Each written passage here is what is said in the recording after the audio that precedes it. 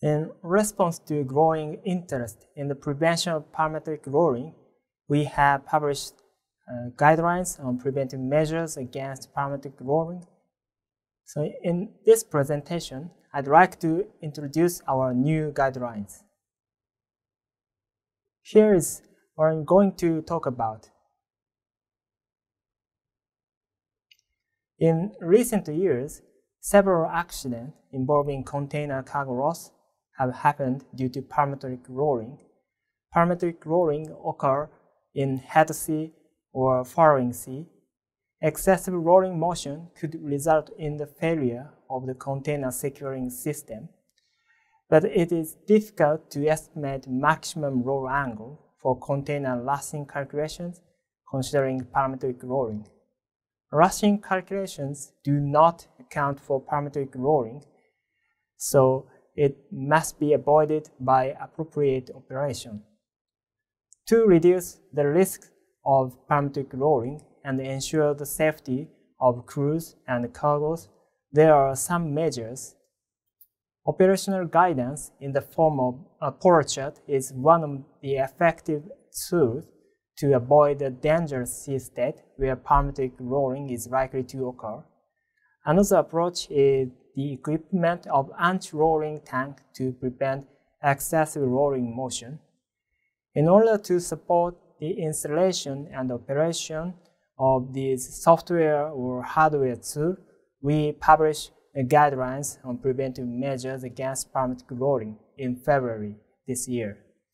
This guideline is intended to give a class notation for ships with a preventive measure and recommend a practical procedure for preparing operational guidance in the form of a chart. Uh, first, uh, this slide shows a basic mechanism explanation on what is parametric rolling. This animation makes it easy to make sense the phenomena of parametric rolling. Simply put, Parametric rolling is a resonance phenomenon caused by periodic changes in the stability of a ship in a head sea, a following sea, or a quartering sea. In the worst case scenario, heavy rolling, like over 20 or 25 degree, can suddenly appear in just a couple of periods, and it is difficult to take any action once it happens.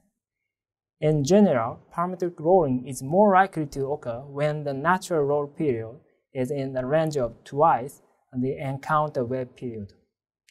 It is important to estimate the ship natural roll period.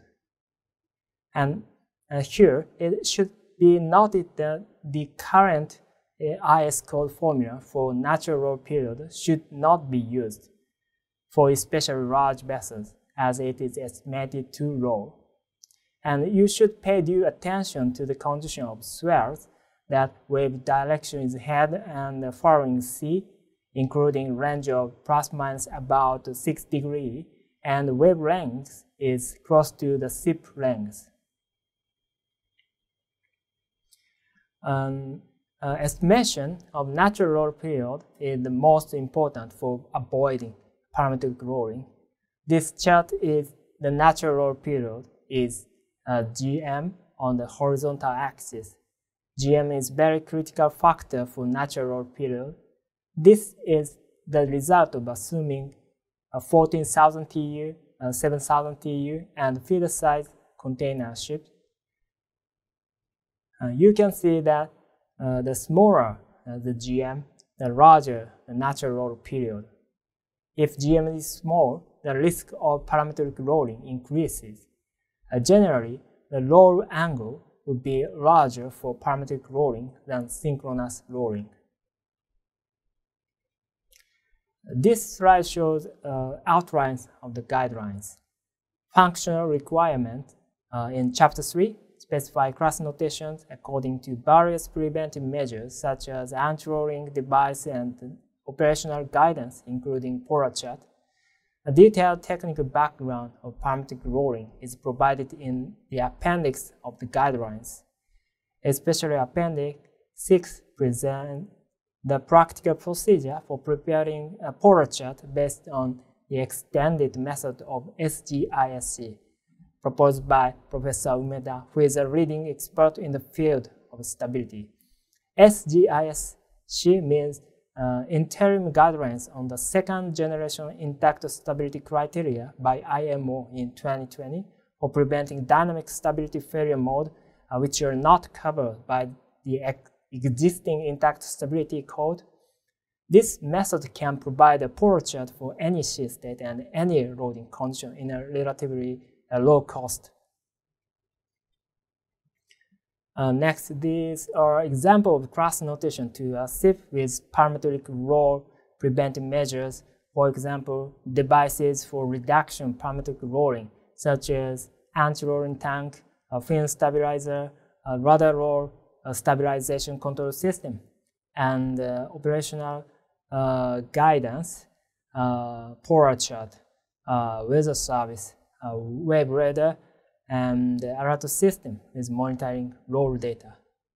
In this polar chart example, uh, the radial direction is the SIP speed, and uh, zero degree is fixed uh, at head sea, and the counters are drawn at the maximum roll angle. Uh, here, example of polar chart. Uh, this is the result of assuming 40,000 uh, container ship using ship model. So it is clear that the larger the GM, the less parametric rolling risk there is. A smaller GM is more likely to cause parametric roll at a relatively lower wave height. And uh, uh, in our uh, current situation, uh, we can uh, provide a polar chart for any state and any loading condition if requested. If we have uh, home data and uh, uh, ship data, ClassNK consulting service will do the calculation and provide a polar chart you requested. Uh, for future service to support operation, uh, we are just trying to develop an API, uh, application program interface, that can display a polar chart related to sea state information through data linkage is onboard navigation equipment and uh, weather routing software. The API allows users to link a polar chart database prepared in advance with sea state and SIP information to display a polar chart uh, based on actual condition. So in response to growing interest in the prevention of parametric rolling, uh, we will support the enhancement of SIP value by granting the class notation to SIPs. Uh, we have published guidelines to state the type of class notation and related requirement. Uh, we have developed uh, a practical procedure for preparing polar chart that clearly indicate the risk for parametric rolling based on the extended method of SGISC and can provide a polar chart uh, if requested. And we are uh, just planning on develop uh, API that can uh, link uh, to the actual sea state and the SIP information in real time as our future service. Thank you for your kind attention.